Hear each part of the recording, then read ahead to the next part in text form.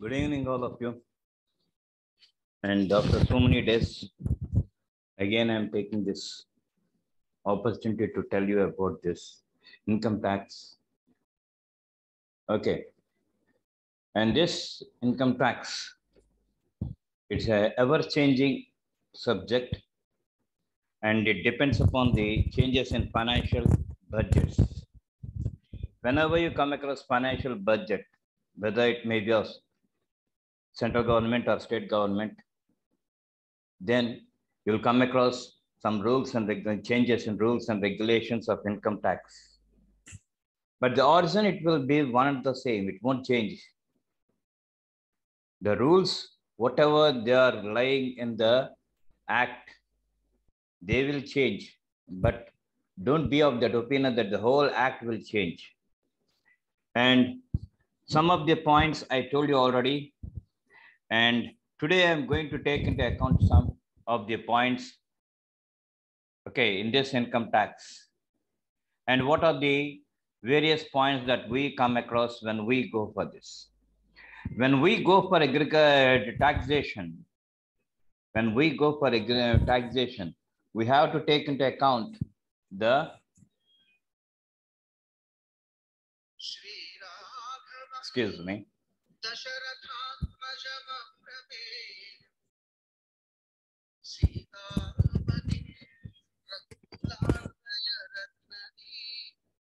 hello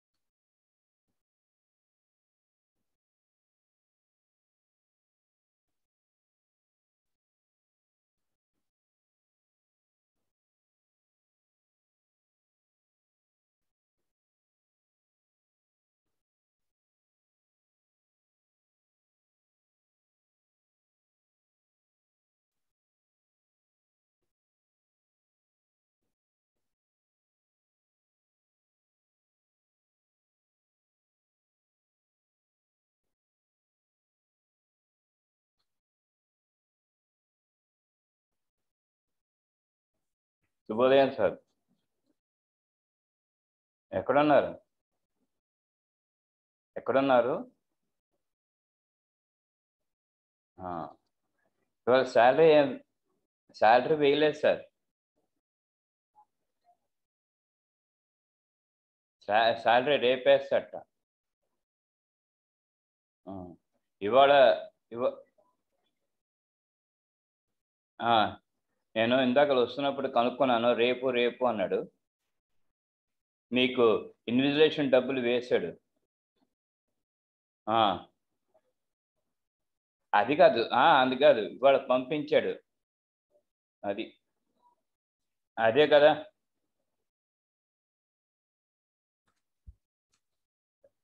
నాకేం వేయలేదు. నాకు ఇది స్టాండ్ బై పెట్టాడు. అంటే ఎవరైనా ఒంటేరికి రెండుకి అది నాకు చంద్రకాంత్కి రేపు మధ్యాహ్నం. మధ్యాహ్నం మా ఇద్దరికి ఉంది. పొద్దున్న ఆయనకి చంద్రకాంత్కి అని ఇంకోసారికి ఉంది. అదే. సుందర్ రాజు.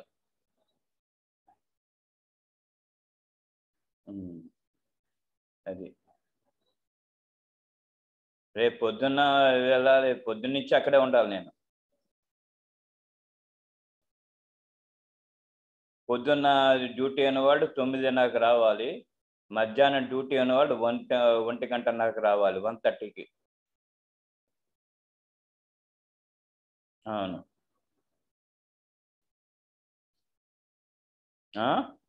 మండే చేశాడు మండే చేశాడు.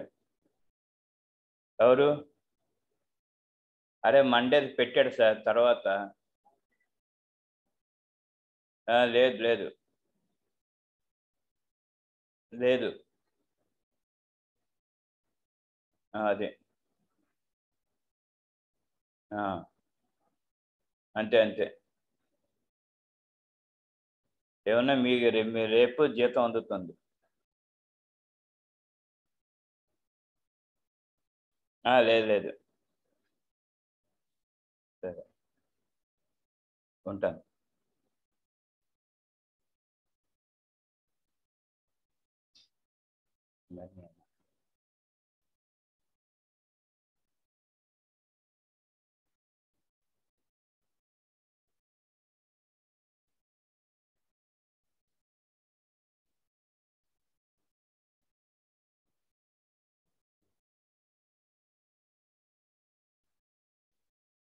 నేను పొరపాటున ఇచ్చేసాను.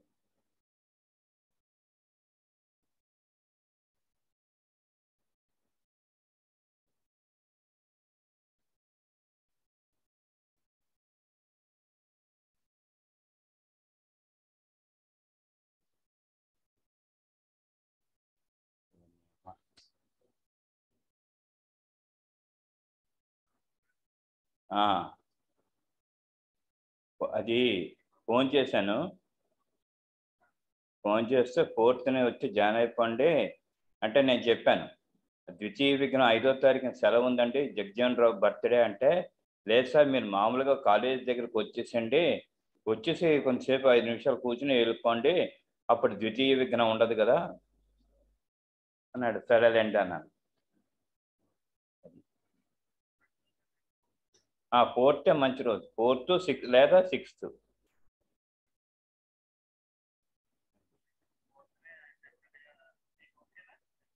ఆ,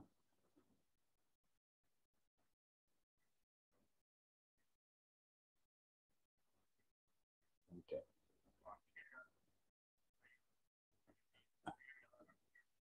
కాదు, కాదు.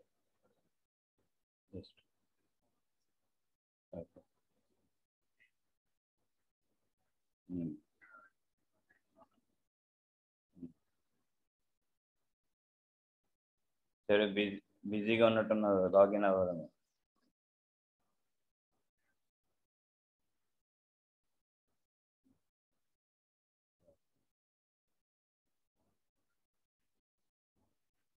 Okay. ఉంటానైతే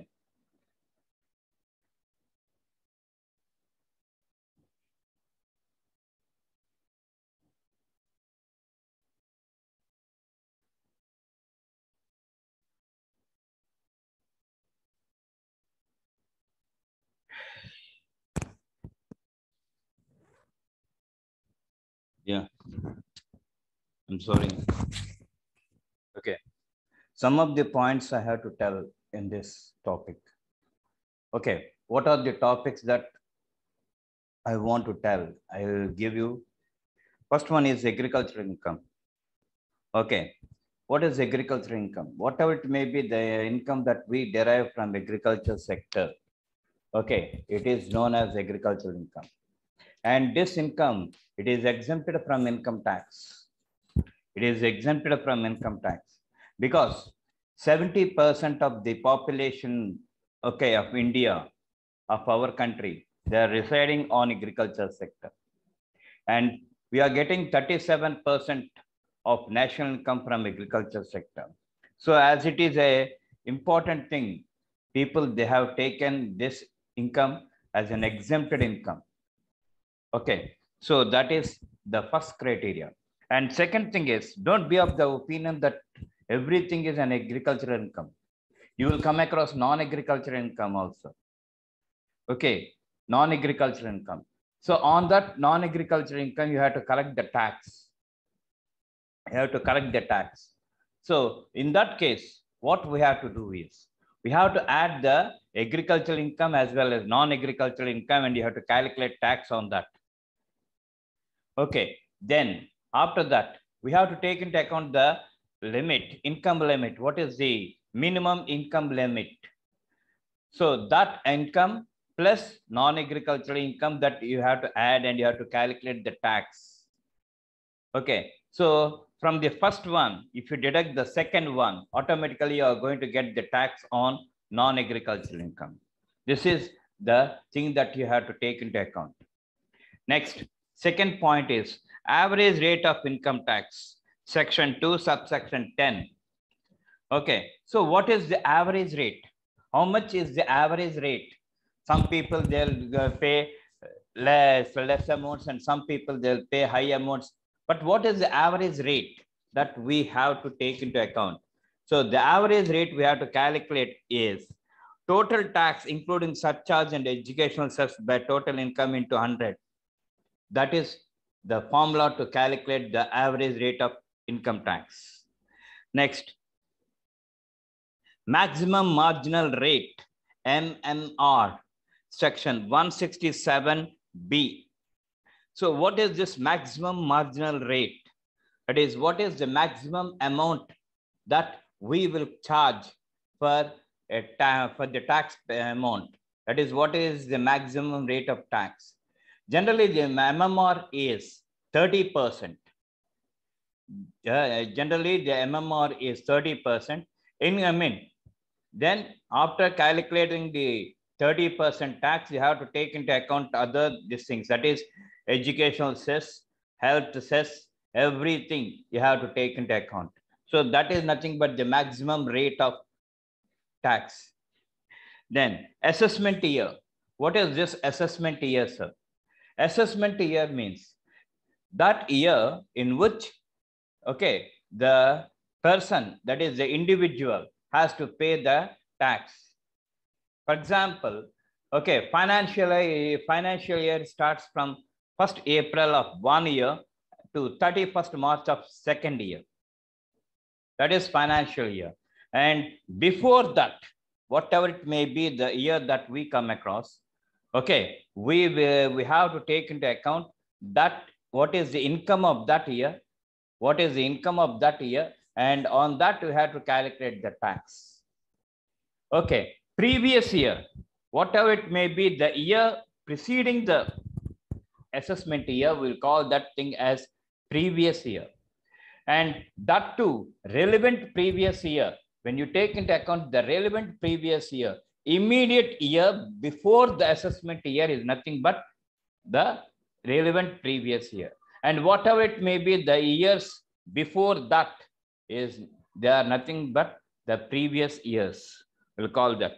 And when you take into account a business or anything, okay, the previous year in certain cases will be cash credits, section 16, unexplained investments, section 69, and unexplained money, etc., section 69A, amount of investments, etc., not fully disclosed in the books of accounts, section 69B, and amount borrowed or repaid on hundi, section 69D.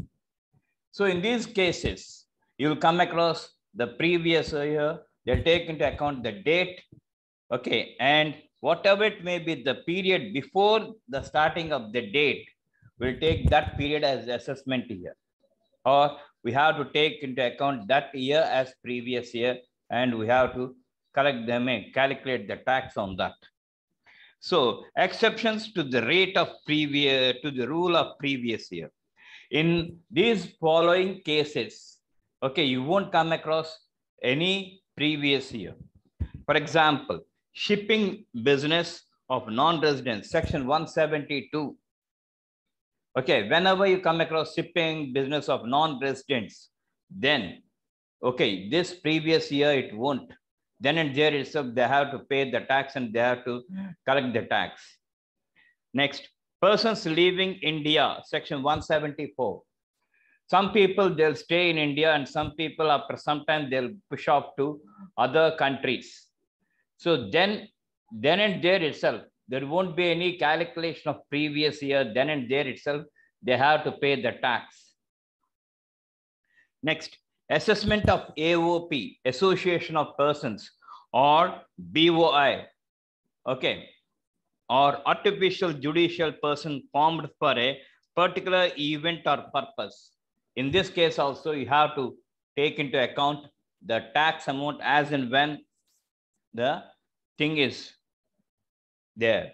It is ruled by section 174A. Next, assessment of a person trying to transfer his assets with a view to avoid tax 175, section 175. Suppose if a person, say for example, A, if is burdened with the tax amount, then what he will do is he don't keep any asset in his name. He will transfer his assets to another person. In that case, we there is no necessity for us to go and think about the previous year. Next, the important thing that we will come across in this income tax is PAN, PAN, PAN number. That is permanent account number. Persons who are earning money, persons who are earning money, they must be given this PAN number, permanent account number. And that account number, it is compulsory for any assessee, okay, any per taxpayer. So this permanent account, okay, number, section 139A. Sir, this number, how we'll get? By taking into a form, by taking into a form and by filling that form, we'll call that thing as 49A. 49A. The number of the form is 49A. When you fill that form and when you submit to the government people, the government people after 45 days, they'll give a number under the central government emblem or under the, that with that okay thing they'll give a number and that number is nothing but pan pan pan permanent account number and excuse me excuse me and whether this pan is very very essential yeah this PAN number is very, very essential to any individual. Okay. And what are the provisions regarding the PAN number? Every person, if his total income exceeds maximum, maximum exemption limit, okay, then PAN number should be taken into account. Any person carrying on business or profession whose total sales or turnover or gross receipts are likely to be exceeded, exceed 5 lakhs rupees Next, charitable trust and religious institutions. Central government may specify any person under the law to obtain PAN. Example, exporters, importers, associates to whom excise rules are applicable, persons who are registered under the Central Sales Tax Act. Okay. And we have to quote the PAN number. It is compulsory and in what circumstances it is compulsory. Sale or purchase of any immovable property valued at 5 lakhs rupees or more, sale or purchase of motor vehicle other than two-wheeled two-wheeled vehicle which requires registration under Motor Vehicles Act of 1988, time deposit exceeding 50,000 with a bank, banking company, banking institution. Deposits exceeding 50,000 rupees in post office savings bank. Contracts for sale or purchase of securities exceeding 1 lakh rupees. If a minor intends to open an account in a bank, he can mention his father's or mother's PAN as reference. Application for installation of telephone connection, including cellular connection. Payment of hotel restaurant bills exceeding 25,000 rupees at any time, okay, during the previous year, a person on whose income tax at source is likely to be deducted TDS, payment of cash for purchase of bank draft or pay orders or bank checks from a banking company to which the Banking Regulation Act 1949 applies, deposit in cash aggregating 50,000 rupees or more with a banking company. Okay. Payment in cash in connection with travel to any foreign country of a, an amount exceeding 25,000 rupees, making an application to any banking company to which the Banking Regulation Act 1949 applies, payment of an amount of rupees 50,000 or more to a mutual fund for purchase of its units, payment of an amount of rupees 50,000 or more to a company for acquiring shares issued by it, payment of an amount of rupees 50,000 or more to a company or an institution for acquiring debentures or bonds. Okay, payment of an amount of rupees 50,000 or more to the Reserve Bank of India for acquiring bonds. Payment to a dealer for purchase of bullion or jewelry worth, ex worth exceeds 5 lakhs rupees or more. This is, these are the various things where the PAN number is to be quoted. Now, penalty. If a person uh, fails to comply with the provisions of section 139A, that is PAN, he has to pay a penalty of 10,000 rupees. Quoting of permanent account number is not required in the case of any resident uh, in the, in the case of non-residents and the persons who do not have any taxable incomes, but may have agricultural incomes. Rule number 114C. Now, we are going for the rates of taxes for the assessment year 2020 to 2021. Okay, the rates for senior, super senior citizens, that is above 80 years of age up to 5 lakhs rupees nil, 5 lakh 1 rupees to 10 lakhs 20%, above 10 lakhs 30%. Now, for senior citizens who have completed 60 years or more, but less than 80 years, up to 3 lakhs nil, 3 lakh 1 rupee to 5 lakhs 5%, 5 lakh 1 rupee to 10 lakhs 20%, and above 10 lakhs 30%. Now, ordinary residents, that is below 60 years of age, up to 2 lakhs 50,000 nil, 2 lakhs 50,000 1 rupee to 5 lakhs 5%, 5 lakhs 1 rupee to 10 lakhs 20%, and above 10 lakhs, you'll come across 30%. And another thing is, you will come across rebate under section 87A. A resident individual can avail rebate under section 87A. If his net income does not exceed 75 lakhs, okay, it is deductible from income tax before calculating education cess. The amount of rebate is 100% of income tax or 12,500 rupees, whichever is low. Now, surcharge. Okay, generally 10% is the surcharge when the income crosses 50 lakhs and below 1 crore.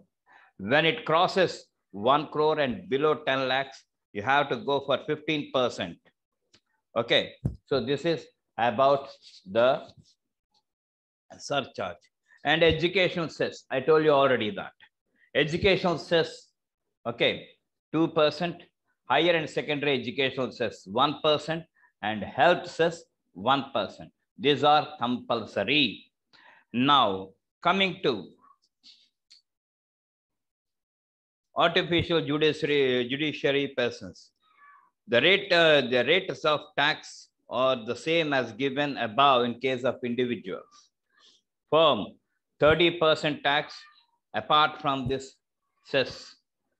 Companies, 30%, 30%, and the surcharge will be, okay, for firms it is 12%, and for companies also, the surcharge is 12% when the income crosses, okay, 10 crores subject to marginal rate. For foreign companies, the tax rate is 40% apart from the educational cess.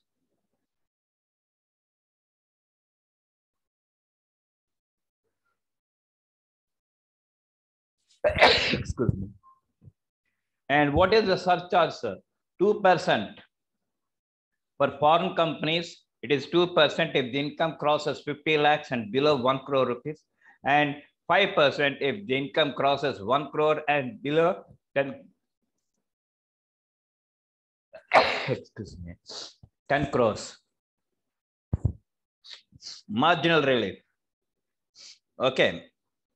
You the individuals or the companies or the firms they are going to get the marginal relief if the income exceeds okay 1 crore okay 1 crore.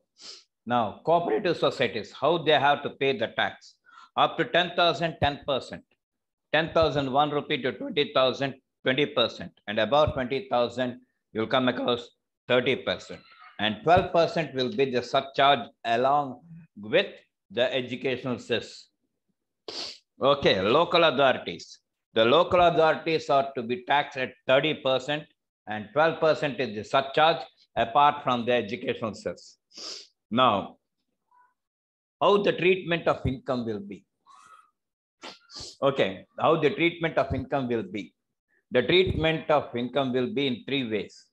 Taxable incomes, exempted incomes, and rebatable incomes. These are, that is, rebatable incomes are nothing but the tax-free incomes. Tax, taxable income, section 14 to 69, they will come under. And exempted incomes, section 10, subsection 1 to section 10, subsection 48. And rebatable, that is tax-free income, section 86. These are the things that we will come across regarding this. Okay, treatment of income, tax treatment of income. Now, before going to the tax, one must understand how the gross total income, GTI, we'll call that in abbreviation form GTI, how this GTI, that is gross total income is to be calculated. When we go for income source, income source we will get from five heads. From five heads we are going to get. First one is income from salaries, income from house properties. Okay, profits and gains, capital gains, profits and gains from business or profession. And another thing is capital gains and income from other sources. These are the five sources that we are going to get the income. And when we club the income from all the sources, the total income, we will call that thing as gross total income. So what is this total income, sir? Okay. What is this total income? From gross total income, you have to take away some of the items. That is, okay, rebate under section 87A, okay, educational cess, relief under section 89 okay under section 89 subsection 1 and rebate under section 86 and all these things if you deduct you'll come across. Okay you'll come across this net payable tax. So you told that total income sir. yeah from gross total income you have to deduct some deductions under section 80c to 80u 80c to 80u then you will get the total income. And from that if you deduct this marginal rate of rebate of 80 uh, rebate of 87a okay educational cess relief under section 84 89 1 rebate under 86 advance tax and tds if you deduct that oh, i mean then only you are going to get the net payable tax. Okay so this is how you'll come across. And with this i'm going to close this and in the next class we are going one by one. And mind it that income tax is completely uh, problematic as well as this theoretical part. When you can able to understand the theory, then you can able to do the problematic portion. Suppose if you cannot able to understand the theory part, it is highly difficult for any person to go for problematic portion. Okay, first of all, you have to understand what are the provisions, what are the exemptions, what are the e privileges that we come across all these things you have to understand very well then only you can apply or then only you can go for the problematic portion okay so until then have a nice day and don't forget to subscribe to my channel thereby it is nothing but an encouragement for me okay Thank you. Thank you very much.